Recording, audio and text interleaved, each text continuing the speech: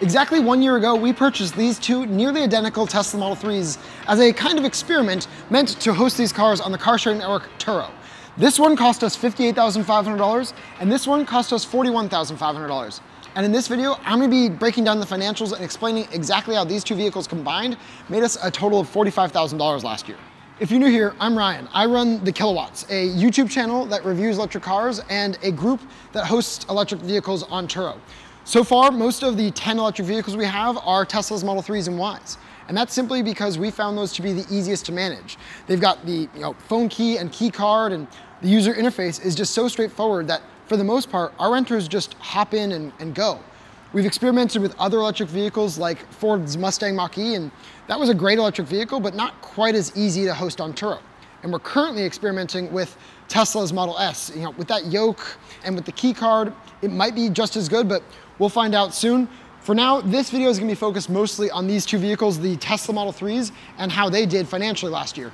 So what did we buy? Well, after several years of hosting electric vehicles on Turo, we found it difficult to know what makes a renter more willing to pay up for a more expensive vehicle or book a longer versus a shorter trip. And we wanted to see if the price of the vehicle was a factor. So we purchased this $58,500 Tesla Model 3. It's the long range all wheel drive and we paid the additional $10,000 for the full self-driving package. At the same time, we listed this $41,500 rear-wheel drive Model 3 with a standard range battery. The goal was to see how these two cars compare over the course of a year and would the more expensive vehicle rent out better than the less expensive vehicle.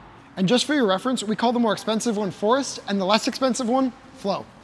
Over the last year, each of these vehicles acquired an almost identical 35,000 miles.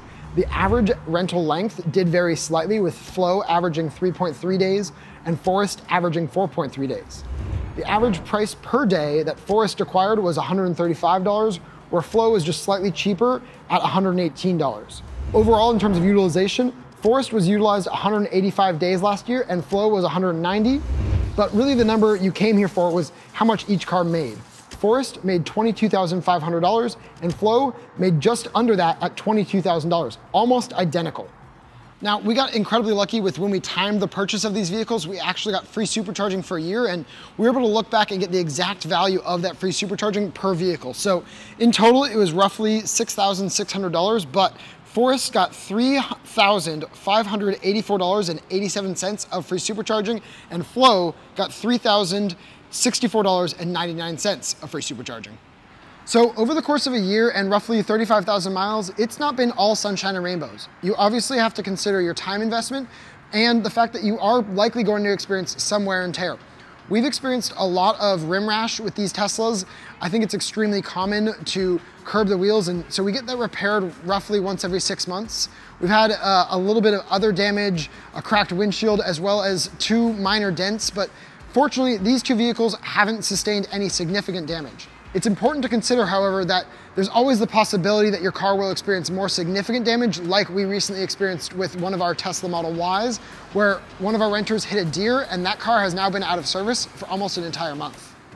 So in conclusion, it seems like our renters aren't willing to pay up for the more expensive model. They really just want to get behind the wheel of a Tesla, and so going forward, we're probably going to be buying more of the cheaper models that we can get. As it relates to the full self-driving package though, it's still a bit of an open question.